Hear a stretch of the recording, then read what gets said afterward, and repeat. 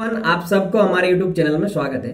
दोस्तों, जिन जिन स्टूडेंट्स का प्रैक्टिकल एग्ज़ाम छूट गया था, हमारा जो कोरोना वायरस सेकेंड वेव हमारा देश में आने के कारण स्थिति बहुत ही नाजुक था, जिसके कारण एग्ज़ाम को पोस्टपोन कर दिया गया था। हालाँकि जो जो बच्चे का हो गया था, उन लोगों का मार्क्स चला भी गया है और जिन जिन स्टूडेंट्स का नहीं हुआ था, उन लोगों का काल से एग्ज़ाम कंडक्ट कराया जा रहा है। ये आप लोगों को टाइम टेबल भी पता चल गया होगा किन किन सब्जेक्ट्स का किस किस दिन है। और इसी ड्यूरेशन में 23 से 26 के बीच में आप लोगों को प्रैक्टिकल मार्क्स भी बोर्ड को अपलोड कर दिया जाएगा स्कूल के द्वारा। ऐसा गाइडलाइन जारी कर चुका गया है।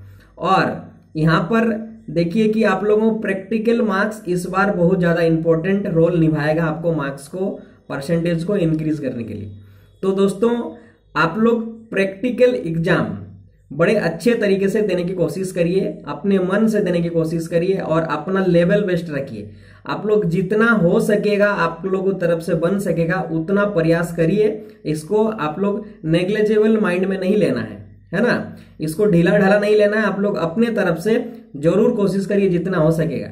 हाँ और एक काम करना, ये मैं आप लोगों को बता दे रहा हूँ ट्रिक्स क्या कि आप लोग टीचर को कन्विंस करने की कोशिश कर रहे हैं। अगर आप टीचर्स को अच्छे तरीके से कन्विंस कर लेंगे क्योंकि आप लोग तो प्रैक्टिकल एग्ज़ाम अपने लेवल में तो देंगे, जितना आप सके होगा।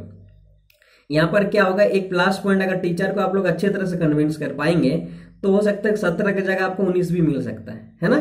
जिसमें आपको ट्वेंटी मार्क्स का प्रैक्टिकल होगा तो आप लोगों का मार्क्स इंक्रीज करने का ये भी एक तरीका है कि टीचर को अपने लेवल से कोशिश करिए थोड़ा सा आप लोग कन्विंस करने के लिए।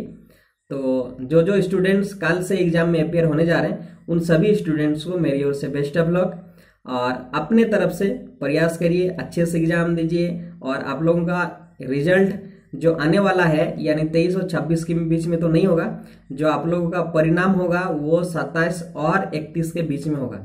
और इसी किसी दिन के बीच में होगा, जो भी होगा, अपडेट आएगी। मैं इस चैनल में सबसे पहले आप लोगों को इन्फॉर्मेशन पहुँचाने की कोशिश करूँगा। और बेस्ट ऑफ़ लक फिर से एक बार और अच्छे से एग्ज़ाम दीजिए। धन्यवाद।